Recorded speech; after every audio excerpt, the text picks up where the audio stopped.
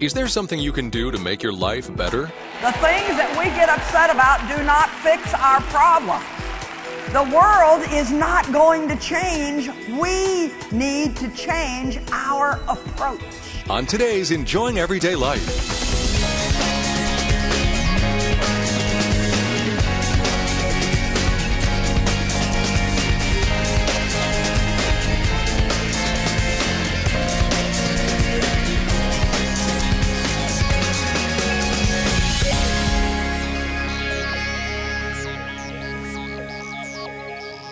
Welcome to Enjoying Everyday Life. And once again, thank you for joining us. It does mean a lot to me that you're willing to spend time letting me share the Word of God with you. Today, we want to talk to you about very simply calming down and cheering up. And both of those are things that the Bible tells us that we should do. I want to encourage you to open up your hearts, have a spirit of faith, and receive from this lesson today that I taught in Jacksonville, Florida. Matthew chapter 11, verse 28, beginning there and going through verse 30, are just such comforting scriptures. Come unto me, all you who labor and are heavy laden and overburdened, and I will cause you to rest. The Amplified Bible says, I will ease and relieve and refresh your souls. Now, I want you to notice that he didn't say, I'll refresh your body. He said, I'll refresh your soul. It's not that we don't need physical rest because we most certainly do need physical rest. But to be honest with you, you can rest physically and never rest your soul. Your soul is your mind, your will, your emotion. You can lay down and yet your mind just keeps going. You can lay down and yet you can still be very upset Matter of fact, some people use the nighttime when they lay down for their worrying. You don't get a right rest when you do that. Jesus said, Look, if you're upset about something, come to me. If you have a problem, you don't know what to do, come to me. If you have a child that's in trouble, come to me. If you have any kind of a burden, come to me. Take my yoke upon you and learn of me, for I am gentle, meek, and humble, lowly in heart, and you will find rest. Relief and ease and refreshment and recreation and blessed quiet for your souls. Now, your soul is your inner life. And let's read that again. He said, If you come to me, you'll find something for your inner life. You'll find relief, ease, refreshment and recreation. Kind of sounds like he's saying that our souls need a vacation. You know, you can take your body on vacation and still yet not get a vacation for your soul. We all really have two lives. We have an outer life and an inner life. And I've really come to realize over the last number of years that my inner life really is more important to God than my outer life. And my inner life needs a rest. My inner life needs a vacation. My emotions need a vacation. My mind needs a vacation. For my yoke is wholesome, useful, good. It's not harsh, hard, sharp, or pressing but it's comfortable, gracious, and pleasant, and my burden is light and easy to be borne. What I want to talk to you tonight about is changing your approach to life. We all have a way that we approach life. Now, some people, just by virtue of their personality, are rather easygoing. And I bless you in Jesus' name if you're one of those people. And I wish many times that I could have a personality transplant but this is what I got. I'm one of those. got a problem?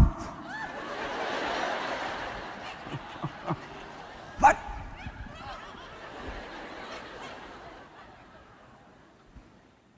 And like most people do, I married a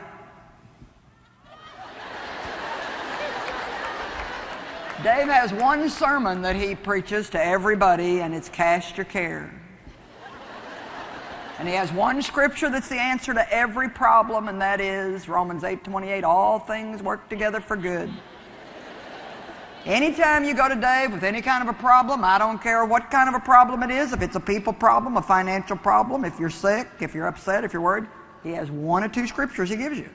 1 Peter 5, Romans 8. Cast your care on God, humble yourself under the mighty hand of God.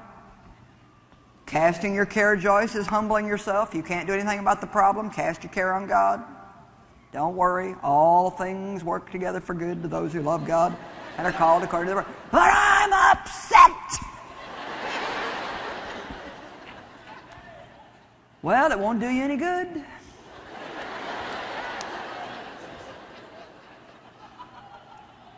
Now, I don't really know what to say to those of you tonight that are like Dave. I'm not sure what you're going to get out of my message. Because probably the truth of the matter is you don't even need it. But there is a bunch of us who do, and so you're just going to have to kind of endure with the rest of us while we get a little help here tonight. Amen? How many of you are a little more on the edge? You're okay, so good. God brought out all the upset people for me to preach to.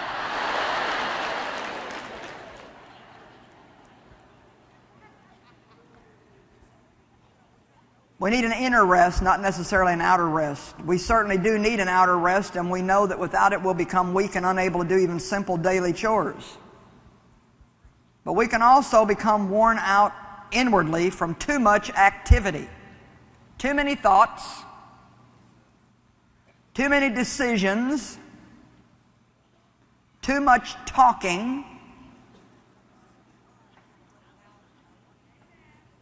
I have found out that when I get in a situation where I have to talk all day long, I am absolutely exhausted at the end of the day, and it has nothing to do with my physical being. You can just get worn out from talking too much. Sometimes it would do some of us good just to go somewhere and zip our lip for about five days too much multitasking, one of the things that we desperately need to learn how to do is to do one thing at a time. Do you know that we do a lot of things we're not even aware we're doing them? Because while we're doing this thing, we're already planning the next thing. We're already thinking about the next thing. I am more tired mentally and emotionally when evening comes than I am physically. Worry, fear, wears us out inside. Excessive concern over what people think about you and about what you're doing will just wear you out. Being insecure will wear you out. Amen? I don't get nearly as tired doing one of my conferences if I don't get frazzled over every little detail that doesn't go right if I don't worry about what people think of me, if I don't get upset because half the lamps in my hotel room don't have any bulbs at work, or the stopper in the bathtub won't stay in and I can't take a bath, and I love to take baths. I don't want a shower, I want a bath. But if the stopper won't hold the water in the tub, then I can't have my bath. And I don't like it when I can't have my bath. Amen. When I can manage to stay calm no matter what goes on in my life, boy, do I conserve a lot of energy. And many of you that are sick are not sick because you have anything physically wrong with you. You're sick because you never shut down inside. And you're sick because all, you've spent all your life getting upset and trying to calm down. About the time you calm down, you get upset again, then you try to calm down. Then you get mad, and then you try to get over it. And then you get mad, and then you try to get over it. Then you get offended, and you try to get over it. And then you get mad at somebody, you got to work a week to forgive them. And it's just this endless cycle of upset, upset, upset, upset, upset. Well, you ought to clap because I'm telling you the truth tonight. Amen. Here's my revelation tonight the world is not going to change. And the devil's not going to change. And all the people in your life probably won't change. And even if they do and they become real nice, there will be some others planted in your life that aren't so nice. So here's my revelation. The world's not going to change, the devil's not going to change, people are not going to change, so I've decided to change.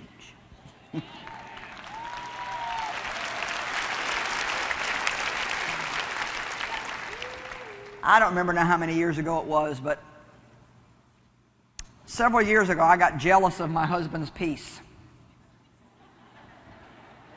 And that's not a bad thing. I saw me driving myself crazy and having all these physical problems, running to the doctor all the time, being worn out all the time. Dave felt good every day.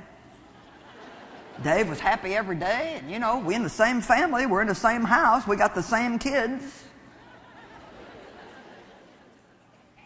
We have the same problems, the same situations, the same things to deal with. But yet he just stayed happy and I stayed upset. I worried and he'd cast his care.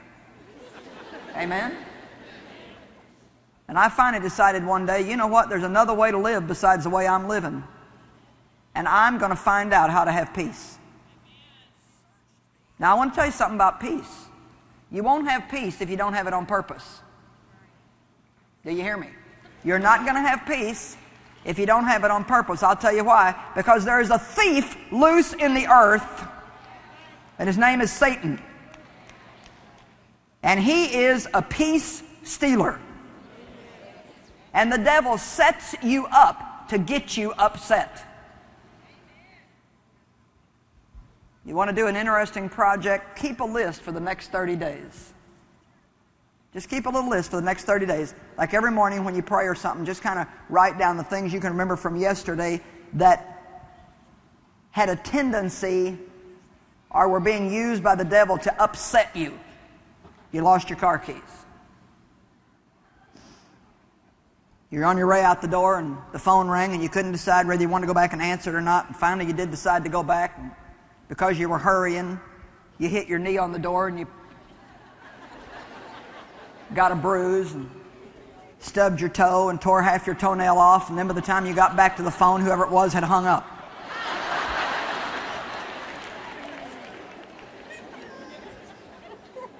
Or you got in a traffic jam that you weren't expecting. Amen? Somebody got the promotion at work that you wanted. Your electric bill was higher this month than you thought it should be. And when you tried to call the electric company to find out something about it, you were hanging on the phone for one hour listening to their recorded messages. Come on, you know what I'm talking about. An endless cycle of stuff. Stuff happens. Amen? The devil sets us up to get us upset. Let's remember that Jesus did not tell Martha that she worked too much. He told Martha that she worried too much. We think we work too much, but I'll tell you the truth, I think we have a capacity from God to work and bear a lot of good fruit. It's obvious in the Bible that we're supposed to work. You work six days, you rest one. Work is good. We're built for accomplishment and to produce something. Matter of fact, I get tired or physically laying around doing nothing that if I'm doing something. Being lazy just wears me out. So he didn't tell Martha that she was working too much. He said, You're worrying too much. And what was she worried about? Jesus had come to her house. And she was all upset. The house wasn't clean enough. The dinner might not get done on time. This was a problem. That was a problem. Pick this up, pick that up, straighten this up, straighten that up. My goodness, what will Jesus think? Mary, on the other hand, just went and sat down in front of Jesus and wanted to rest in his presence. Thank God that we not only all have a Martha, but we've got a Mary in us somewhere if we can just find her. Amen. And then Martha did what we all do so often because she was upset. She blamed Mary for her problem. Come on now. Because she was upset, because something was going on in her life that she did not like, she blamed Mary for her problem. And how many times when we can't find the car keys is it somebody else's fault? How many times when we're late is it somebody else's fault? And so not only does the devil succeed in upsetting us, but then he gets us into strife with somebody else. You say, well, what's the answer to all these things? Calm down and cheer up. Go to Psalm 94, verse 12. You say, How long am I going to have something happening every day that steals my peace? have you ever wondered, How long? Can't I ever have a day that goes just right? I went to a place last week where I go to write. You know, writing is takes a lot out of you. It's pretty intense, and so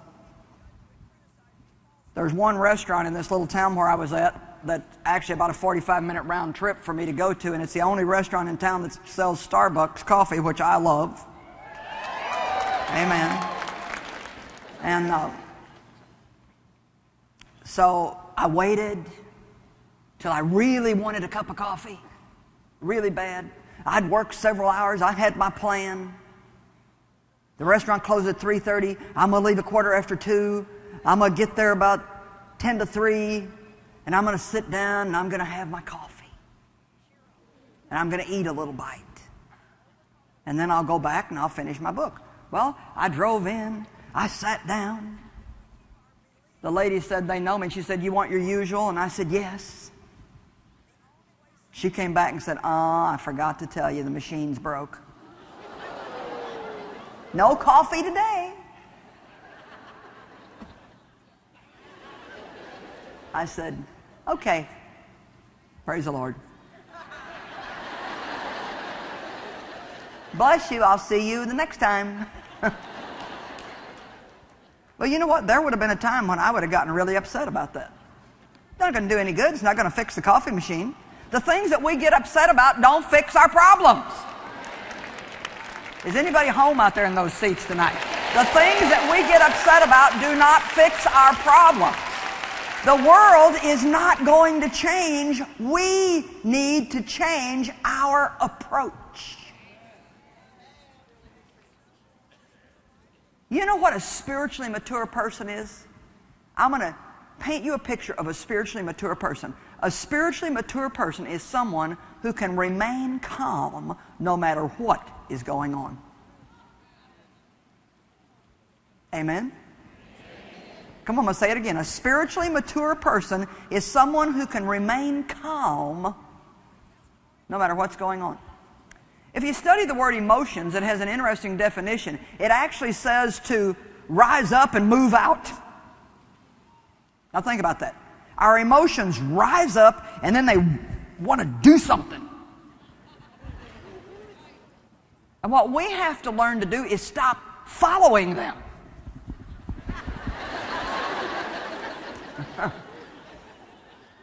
One man said to me, couple of years ago when I was trying to teach him these principles, he was a very emotional sort of a guy that was always getting in trouble because of his emotions. And he said, So, really, what I need to do is when my emotions take off in a direction, I need to not get on board. I said, That's exactly right. Look at me and let me tell you something. You're always going to have a variety of emotions. Your emotions are not going to disappear and go away. When things don't go your way, you may always feel initially upset. But what happens when you get on board with those emotions is you started out maybe a little bit disappointed, but the more you talk about it and the more you react to it, the more upset you get. And pretty soon now you're in a full fledged fit over some little thing that really didn't even make that much difference. Amen? we get ourselves upset. Psalm 94, 12 and 13. Blessed, happy, fortunate, and to be envied is the man whom you discipline and instruct, O Lord, and teach out of your law. So we're blessed when God disciplines us and when he chastises us and when he instructs us. We don't think so, but we are.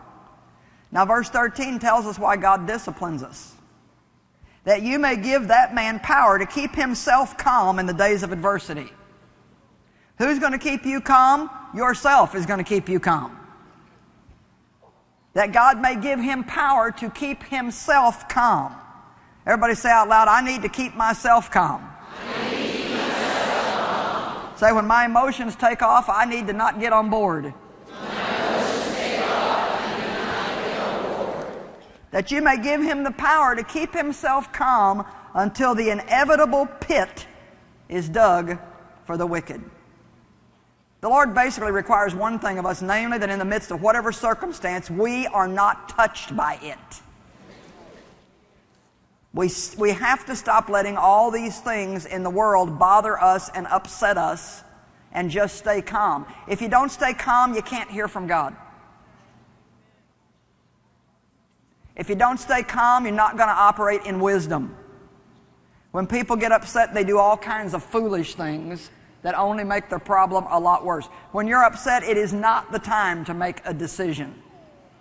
You don't make a decision when you're emotional you calm down. You don't make a decision to buy something when you're emotional because what will happen is your emotions will get all excited about having the shiny new thing and your emotions will just make you feel like it is the best thing that you have ever had in your whole life and it will change your life and you will love it forever, but your emotions are not talking to you about paying for it.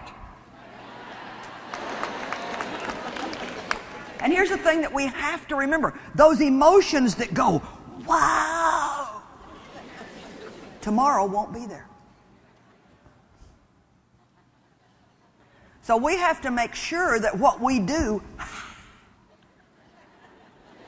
that we're going to be happy with. Amen? When you feel really emotional and you're getting ready to buy something because you're all hyped up, the best thing in the world that you can do especially if you're not sure that you can afford it, especially if you're going to have to d- go in debt to get it, especially if you have to lay plastic on the counter to buy it. What you need to do is just say, you know what? I'm going to think about this a little bit, and if I want it, I'll come back.